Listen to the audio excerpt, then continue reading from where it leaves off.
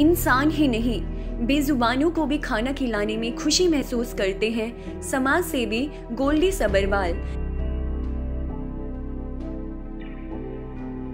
ਹਾਂਜੀ ਸਰ ਪੂਰੇ ਪੰਜਾਬ ਦੇ ਵਿੱਚ ਜਿਵੇਂ ਇਸ ਟਾਈਮ ਕਰਫਿਊ ਲੱਗਿਆ ਹੋਇਆ ਹੈ ਤੇ ਮਾਹੌਲ ਕਾਫੀ ਮਤਲਬ ਵਿਪਤਾ ਵਾਲਾ ਹੋਇਆ ਹੈ ਤੇ ਤੁਸੀਂ ਇਸ ਟਾਈਮ ਸਟ੍ਰੀ ਹਾਂਜੀ। ਡੌਗਸ ਨੂੰ ਫੀਡ ਕਰ ਰਹੇ ਹੋ ਤੇ ਹਾਂਜੀ ਸਰ ਤੁਹਾਨੂੰ ਇਹਦੇ ਪਿੱਛੇ ਮੋਟੀਵੇਸ਼ਨ ਕਿੱਥੋਂ ਦੀ ਮਿਲੀ ਮੋਟੀਵੇਸ਼ਨ ਹੈ ਸਾਡੇ ਦੇਸ਼ ਦੇ ਪ੍ਰਧਾਨ ਮੰਤਰੀ ਸ਼੍ਰੀ ਨਰਿੰਦਰ ਮੋਦੀ ਜੀ ਜਿਸ ਤਰ੍ਹਾਂ ਉਹਨਾਂ ਨੇ ਸਾਨੂੰ ਦਿਸ਼ਾ ਨਿਰਦੇਸ਼ ਦਿੱਤੇ ਔਰ ਉਸ ਤੋਂ ਇਲਾਵਾ ਸਾਡੇ ਜ਼ਿਲ੍ਹਾ ਪ੍ਰਸ਼ਾਸਨ ਜਦੋਂ ਅਸੀਂ ਉਹਨਾਂ ਨੂੰ ਦੇਖਿਆ ਕਿ ਪੰਜਾਬ ਪੁਲਿਸ ਔਰ ਸਾਰੇ ਸਰਕਾਰੀ ਅਫਸਰ ਆਪਣੇ ਘਰ ਪਰਿਵਾਰ ਨੂੰ ਛੱਡ ਕੇ ਸਮਾਜ ਦੇ ਵਿੱਚ ਵਿਚਰਦੇ ਪਏ ਨੇ ਤੇ ਉਸ ਦਿਨ ਉਹਨਾਂ ਨੂੰ ਨ- ਮੱਦੇਨਜ਼ਰ ਰੱਖਦੇ ਉਹਨਾਂ ਨੂੰ ਦੇਖਦੇ ਹੋਏ ਅਸੀਂ ਸਮਾਜ ਦੇ ਵਿੱਚ ਵਿਚਰੇ ਔਰ ਕੱਲੇ ਕੱਲੇ ਰੋਜ਼ ਨੂੰ ਅਸੀਂ 5-700 ਲੋਕਾਂ ਨੂੰ ਰੋਜ਼ ਦਾ ਅਸੀਂ ਖਾਣਾ ਆਪ ਖਿਲਾ ਕੇ ਹਾਂ। ਜਿਹੜੇ ਏਰੀਆ ਦੇ ਵਿੱਚ ਸਾਨੂੰ ਪ੍ਰਸ਼ਾਸਨ ਕਹਿੰਦਾ ਅਸੀਂ ਉਸ ਉਹਨਾਂ ਦੀ ਮਨਜ਼ੂਰੀ ਦੇ ਨਾਲ ਉੱਥੇ ਉਹਨਾਂ ਦੇ ਮੁਲਾਜ਼ਮਾਂ ਨੂੰ ਨਾਲ ਲੈ ਕੇ ਜਾਂਦੇ ਹਾਂ ਤੇ ਉੱਥੇ ਜਾ ਕੇ ਉਹਨਾਂ ਨੂੰ ਖਾਣਾ ਪ੍ਰੋਵਾਈਡ ਕਰੀਦਾ ਜੀ।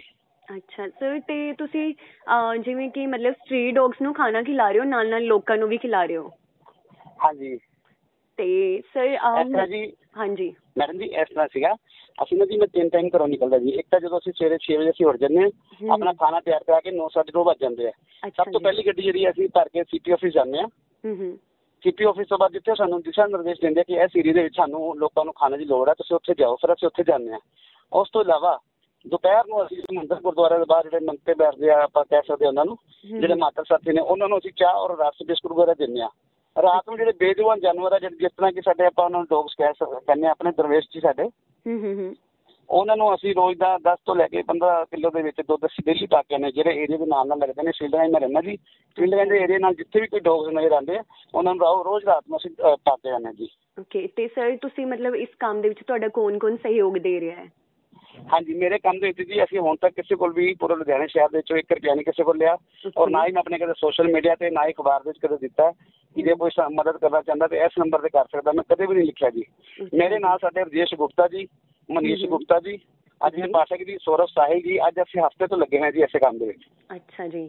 ਔਰ ਅਸੀਂ ਕਿਸੇ ਕੋਲ ਕੋਈ ਪੈਸਾ ਨਹੀਂ ਲੈ ਰਹੇ ਅਸੀਂ ਸਿਰਫ ਪੰਜ ਜਣੇ ਜਿਹੜੇ ਭਰਾ ਵਾਂ ਆਪਸ ਵਿੱਚ ਮਿਲ ਕੇ ਕੰਮ ਕਰ ਰਹੇ ਹਾਂ ਸਾਰਾ ਜੀ ਅੱਛਾ ਜੀ ਮਤਲਬ ਖੁਦ ਫੰਡ ਤੁਸੀਂ ਪੰਜੋ ਜਣੇ ਖੁਦ ਆਪਣਾ ਫੰਡ ਤੋਂ ਹੀ ਹਾਂ, ਕਰ ਰਹੇ ਨਹੀਂ ਜੀ ਹੋ ਆਪਣੀ ਜੇਬਾਂ ਦੇ ਵਿੱਚ ਹੀ, ਮਤਲਬ ਕਿਸੇ ਕੋਲ ਵੀ ਪੂਰੇ ਲੁਧਿਆਣਾ ਸ਼ਹਿਰ ਦੇ ਵਿੱਚ ਆਪਾਂ 1 ਰੁਪਿਆ ਵੀ ਹੁਣ ਤੱਕ ਕਿਸੇ ਕੋਲ ਨਹੀਂ ਲਿਆ ਔਰ ਨਾ ਹੀ। ਅਸੀਂ ਅਪੀਲ ਕੀਤੀ ਜੇ ਕੋਈ ਮਦਦ ਕਰਨਾ ਚਾਹੁੰਦਾ ਸੁਸਾਇਟੀ ਦੀ ਤਾਂ ਕਰ ਸਕਦਾ ਹੈ।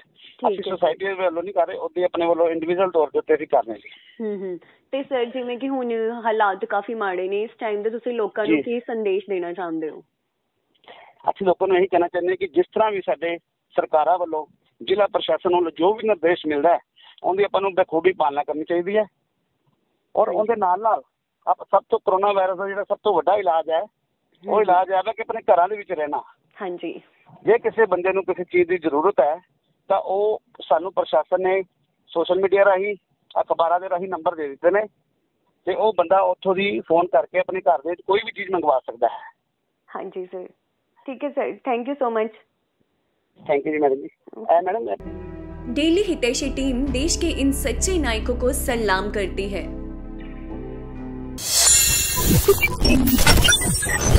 Watch daily Hitaishi voice of nation